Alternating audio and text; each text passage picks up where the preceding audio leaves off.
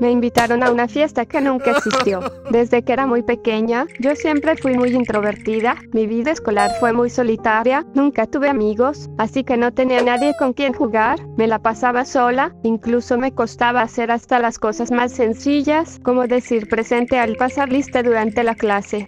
Un día, unas chicas se me acercaron a la hora del recreo. Yo estaba muy feliz. Era la primera vez que alguien quería hablar conmigo. ¿Acaso querían ser mis amigas?